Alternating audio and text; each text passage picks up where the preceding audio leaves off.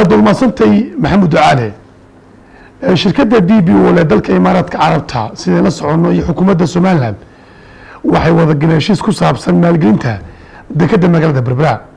Telefishinka home cable t v markii ugu horreysay waxau helay nuqulo ka mida heshiiskaasi oo ay ka mid yihiin qodobada ugu waaweyn in shirkadda d b wol boqolkiiba shan iyo lixdan ay yeelato faa'iidada dekadda magaalada berbera halka somalilan ay yeelan doonto boqolkiiba shan iyo soddon. Haddaba heshiiskaas oo ka kooban toddoba beij ayaa oo dheer ayaa waxaa soo akhriyey wariye cali axmed raabi cali zeyo ka mid ah wariyaasha cable t v. Jumladda jabuuti ayuu iminka ku sugan yahay. Waxa uu si toosa ugu jiraa khadka viberka. Jumladda jabuuti. Cali waxaan umalaya si fiican idin maqlisid. Bal waxaad ka warantaa heshiiskan maanta soo gaadhay telefishinka home cable t v nuquladiisa iyo waxa ugu waaweyn ee dhex maray shirkadda d b wall iyo xukuumadda somaliland ee ku aadan dekadda magaalada berbera aada iyo aad baad u mahadsan tahay xamse cali bulbul. Runtii marka aad akhriyayso memorandum of understanding ama m o u waxaa la yidhaahdo oo ka kooban laba iyo toban qodob waxaad odhanaysaa wow waxaa ka mid ah waxyaabaha ku qoran ee ay shirkadda d b well sheegatay inay wax ka qabanayso dhinacyada xoolaha kalluunka beeraha dalxiiska kaabayaasha dhaqaalaha sida waddooyinka shaqo abuurka korontada iyo waxyaabo kale oo fara badan. Haddana marka aad tagto warqadda heshiiska hordhaca ah ee la yidhaahdo temsheet oo ka kooban toddoba bog oo ay ku qoran yihiin ilaa labaatan qodob ayaa waxaa ka mid ah dhinaca saamiga oo kale markaan eego ama sheerarka in ay shirkadda d b weld ay leedahay boqolkiiba shan iyo lixdan sheerka dekadda berbera.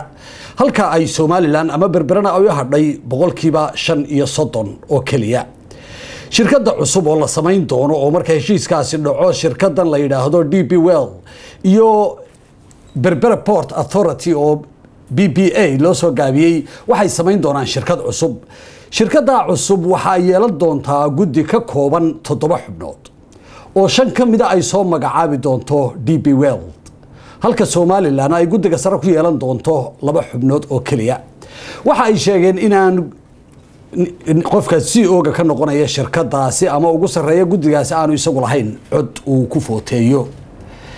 Dhinaca kale markaad eegto marka ay shirkadu doonayso inay waxyaabaha qaarkood wax ka bedesho ee qaraarada la qaadanayo kooramkoodu wuxuu ku buuxsamayaa markay isu yimaadaan afar xubnood. Afartaasi saddex ka mid ah waa inay heshaa d b weld halka hal xubinna looga baahan yahay wakhtigaasoo kale in uu somalilan iyagana u joogo goobta. Shirkadda d b weld waxay kale oo yeelanaysaa maamulaha guud ee shirkadda ee c e o loo yaqaano iyo weliba ku-xigeenkiisa. Waxaa kale oo ay xarunteedu noqonaysaa magaalada dubai oo iyaduna ah saldhigga ay shirkadani yeelanayso cusub ee la aasaasaya.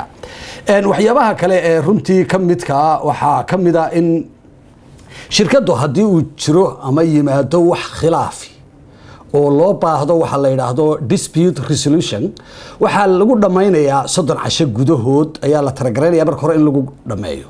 Haddii ay taasi suurtogeli weydo waxa ay shirkaddu isla tegaysaa magaalada dubai iyadoo loo bandhigayo arintaasi laba kambani ama laba shirkadood oo la yidhaahdo d i f c oo ah dubai international finance center iyo shirkadda kale ee la yidhaahdo l c i a.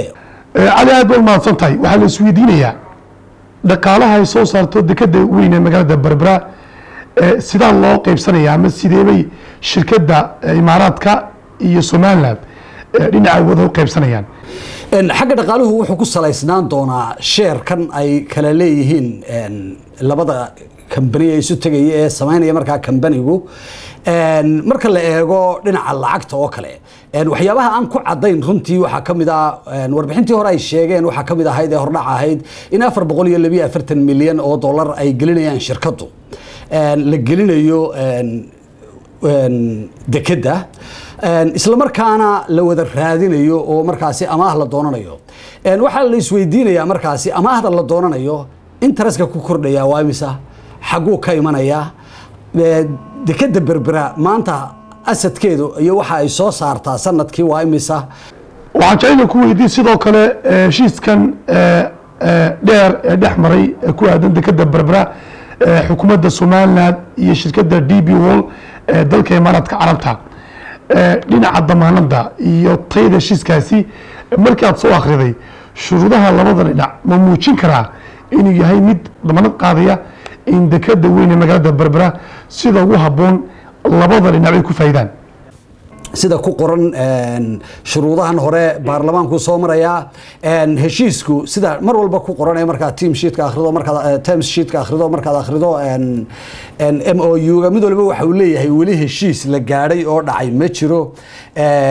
Laakiin markaa baarlamaanka la hor keeno ee baarlamaanku ansixiyo ayuu markaa noqonayaa heshiiskii dhabta ahaa ee hirgelayay. Laakiin haddana intuba waxay u baahan tahay dhinaca somalilan in taxadar badan la sameeyo. Aad baa umahadsan tahay